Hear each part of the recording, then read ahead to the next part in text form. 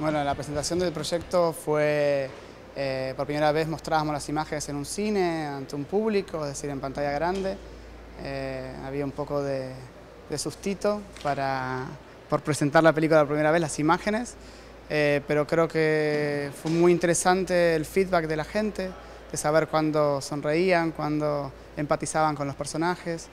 Y, bueno, como dije, para mí era un honor presentar una película sobre la única eh, ex colonia española en África, en Latinoamérica, por primera vez. La película se gesta en realidad eh, a partir de unos talleres que hacemos nosotros eh, para grupos de personas que no tienen el acceso a las nuevas tecnologías o a la información. Entonces hacemos talleres en África o hacemos talleres también en Centroamérica, en Latinoamérica, que no son para profesionales, sino justamente para jóvenes en riesgo de exclusión, eh, adolescentes, eh, abuelos en Barcelona, jubilados.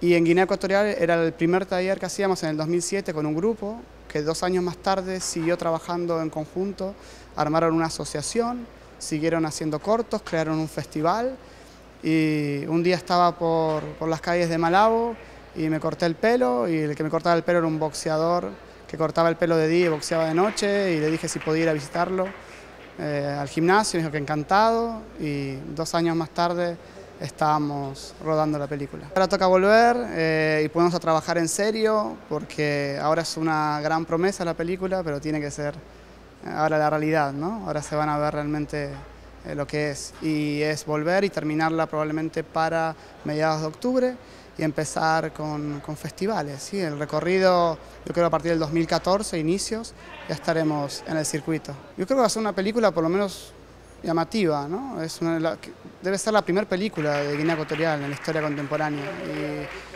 aunque yo soy el co-realizador, eh, está el director y productor que es guineano y es por primera vez, entonces eso es un punto inevitablemente para cualquier festival, cualquier muestra, eh, de tener la posibilidad de mostrar por primera vez eh, las calles de, Guinea, de Malabo, su gente, su acento español que es rarísimo, eh, los políglotas que son porque hablan cinco idiomas. La iniciativa de este festival es, genial, es eh, la idea de un punto de encuentro en estas condiciones, con este paisaje, con, con esta energía dando vueltas y que vengan de todas partes del mundo, que es un festival que está muy abierto a diferentes cinematografías.